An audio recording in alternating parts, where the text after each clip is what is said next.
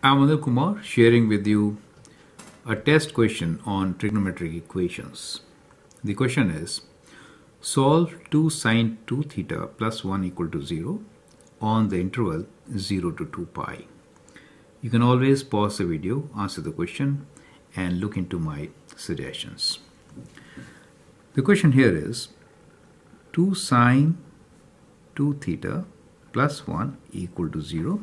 We are also given the domain and the domain is that theta is greater than equal to 0 and less than equals to 2 pi. Correct? So rearranging we get 2 sine 2 theta equal to minus 1 sine 2 theta equals to minus 1 over 2 right now if theta is within 0 to 2 pi what should be the domain for 2 theta? Let's multiply this by 2. So we get 2 theta will be multiplying everything by 2, 0 to 4 pi. Now this is very important to understand, right? Make a note of this. If theta is between 0 to 2 pi, 2 theta is between 0 to 4 pi. Now we're looking for sine 2 theta being equal to minus half. How do we get these values?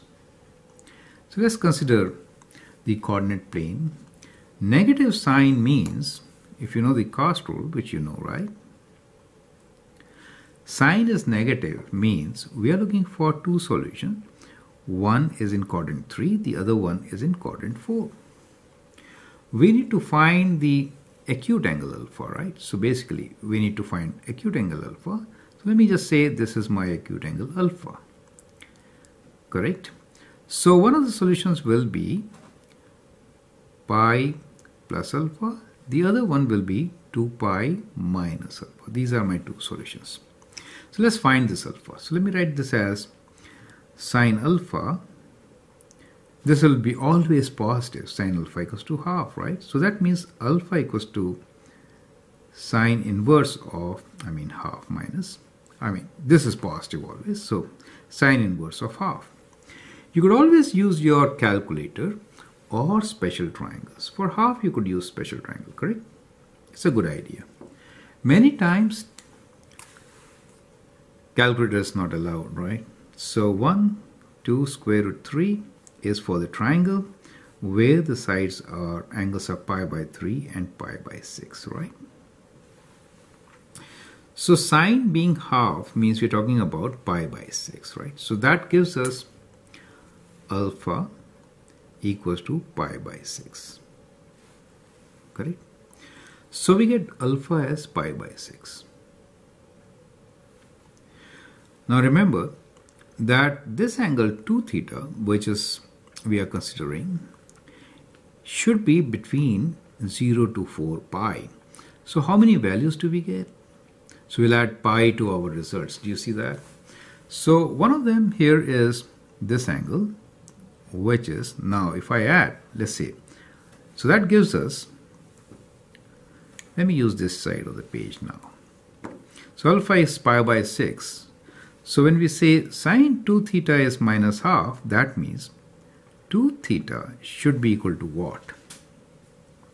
Right? Alpha means related to 2 theta right? Sine alpha is half. 2 theta should be how much? That is solving this one right? Now we're trying to solve this one so 2 theta is pi plus alpha, pi by 6. This is then 6 pi by 6. Is it okay? And this is 12 pi by 6. For easy calculation, same denominator. One more than that gives us 7 pi by 6. Is it okay? Now this side will be 1 less than 12, 11 pi by 6. Now that is up to 2 pi. Now we have to go one more round, right? We have to go so this, this, and then this much. So that means we are adding 2 pi to our answer, right? 2 pi to our answer. So if I add 2 pi to our answer, that is being between 0 to 4 pi, correct? 2 pi means, I'm sorry, uh, 2 pi means 12 pi by 6. 7 plus 12 is 19, right? So we get 19 pi by 6 and 12 plus 11 is 23. 23 pi by 6. So we get actually four options. Now that is critical to understand. So highlight this portion. If you have double angle, then the domain also changes and accordingly we have to take or consider all the angles, right? So what is theta equals to?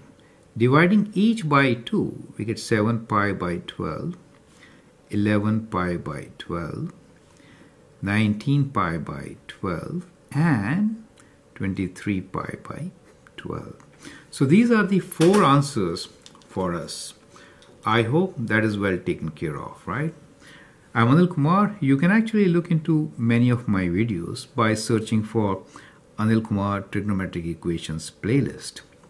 So angle for us, we got four solutions, 7 pi by 12, 11 pi by 12, 19 pi by 12, and 23 pi by 12. You can see all these angle theta are within 0 to 2 pi, correct? This is pi by 12. So all are within 0 to 2 pi, correct? So that is how you should be answering these questions. Feel free to share and subscribe to my videos and if you like, put some likes. Thank you and all the best.